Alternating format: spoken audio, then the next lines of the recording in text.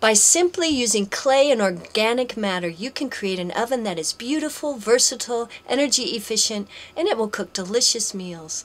We want to share this idea because we believe it can create business opportunities and help with the deforestation problem around the world. Hi, we're John and Flip, and we'll explain with photos how we build a rocket oven. Dr. Larry Winiarski taught us how to make a mud rocket stove for use in Haiti. At the end of this video, we'll direct you to a website for detailed instructions on building a rocket stove and also a rocket oven. We took two molded skirts, inverted one on top of the other, and made a mini kiln with a mud rocket stove. Adding a chimney created more draft and heat. It worked well firing pottery pieces. Next we tried baking bread in the same setup. We removed the chimney to decrease the draft and keep it from getting too hot. The bread came out perfect, and set us on a course to build a rocket oven. We did some research on mud ovens and were inspired by this photo in a wonderful book by Kiko Denzer called Build Your Own Earth Oven. However, our rocket oven design is different and unique because it has a live fire during the cooking process, using much less fuel and giving off very little smoke. We bought a kiln shelf to serve as the baking surface.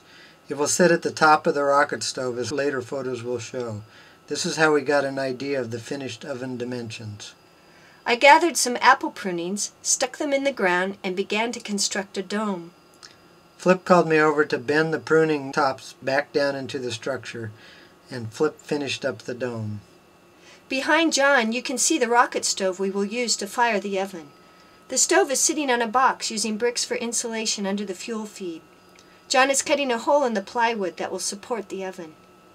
The stove combustion chamber has ceramic pieces in it to create air turbulence and thus cleaner emissions. Because the weight of the oven will be so heavy, we attach stout legs to the table. This shows how the rocket stove will sit under the oven. The combustion chamber and bricks are removable to make repairs possible. The table will be covered 3 inches deep with a mixture of 50% clay and 50% organic matter to protect the plywood from the heat of the oven. The firewood will rest on the bent cans. There is a grate made from lengths of rebar behind the cans that rest in the notches in the lower, thinner bricks.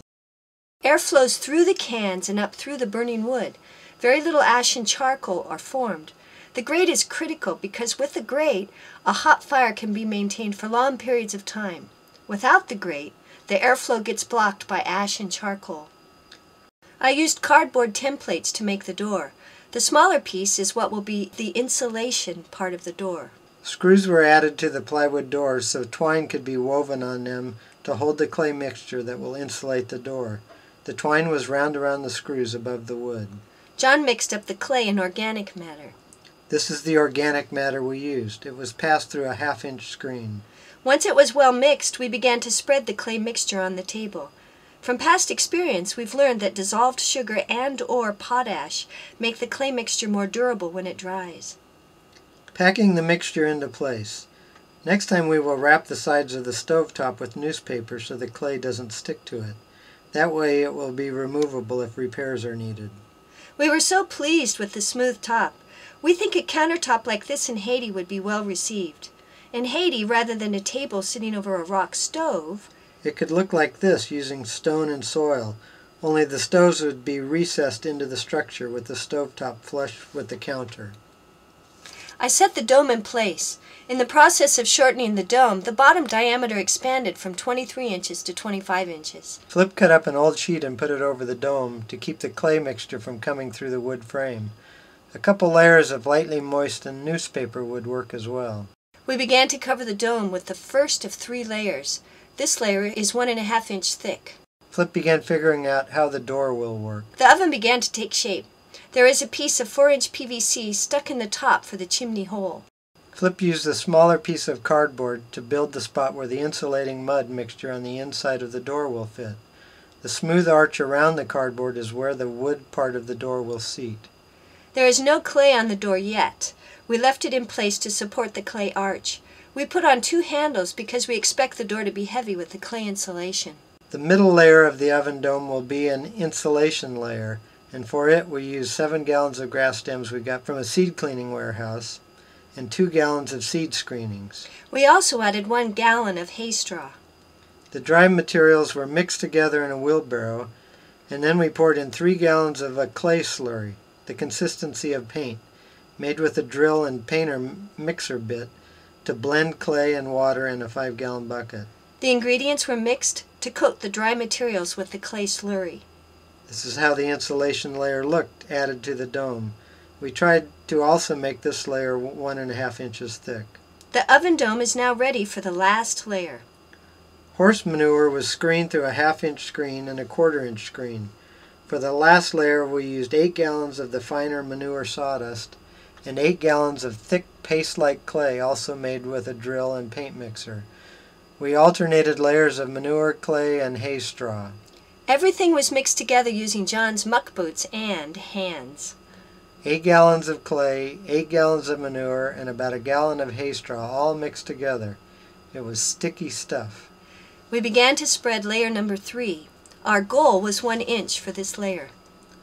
Flip began to work on adding the clay mixture to the door. We weren't sure the clay would stick to the door when it dried, but it did. The oven dome was now complete. We expected to be waiting several weeks for the oven to dry out before we burned out the apple prunings. However, Larry Winiarski suggested we put a deflector plate under the chimney in the top of the dome to get more uniform heat inside the oven. In order to put in the deflector disc, the clay needed to be moist, which meant we had to cut out the apple pruning dome support. With the apple prunings gone, we smoothed the inside of the oven. This took quite a bit of time. Kiko's book suggests an alternative method for forming the dome. He uses a pile of moist sand covered with newspaper to shape the oven interior. The dome layers are plastered over the sand pile.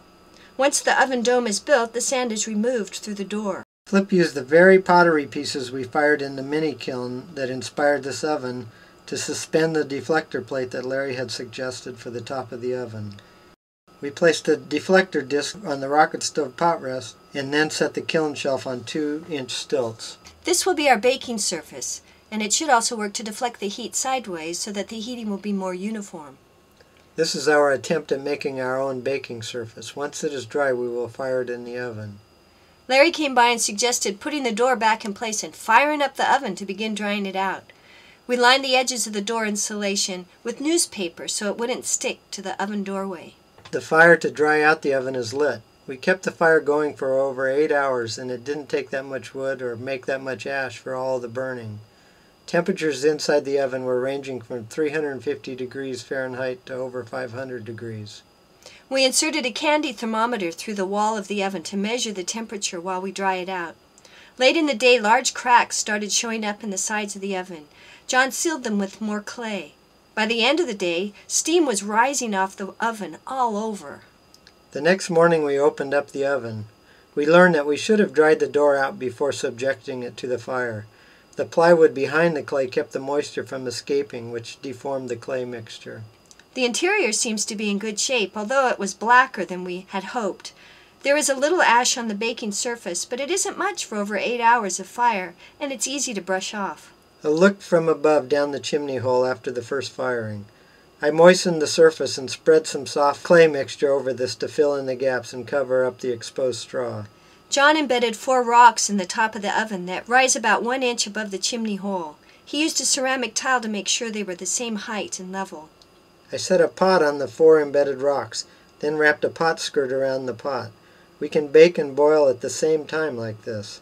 The oven can also function as a regular rocket stove when you remove the baking surface and deflector plate. Another pot could be simmering on top of the oven. The oven was only a few days old, but we decided it was time to try it out. Flip brought out pizza ingredients, a little tomato sauce, followed by some pesto, salami, cheese. Now we're ready to put in the first pizza. Even though the door isn't perfect, it works really well. In it goes. Now it's time to shut the door and see if this oven will really work. Three minutes later, what did we find inside? Party time! It tasted so good. Although the crust had blackened on the bottom, we realized we had the fire too hot. We pulled out some wood from the fire to decrease the temperature for the second and third pizzas, and the crust turned out perfect. The black flakes in this photo are from the first pizza. The fire looked like this for perfect pizza, and this was the oven setting. With a cold oven, it takes 15 to 20 minutes to reach 450 degrees. Larry Winiarski came by just after we cooked the pizza. By sliding the 13 inch long thermometer in and out, John shows Larry that the temperature inside the oven is uniform, no matter where it is being measured. Next, we cooked a beautiful and tasty Marionberry pie. Flip told me to cook it at 400 degrees Fahrenheit for 50 minutes. It was very easy to maintain the temperature at 400 just by pushing the wood in a little bit forward in the rocket stove every 10 minutes. We also cooked a batch of rolls at 350 degrees Fahrenheit. They were a little over brown on the bottom, but had perfect texture. Next time, we will put a spacer under the pan to prevent over browning.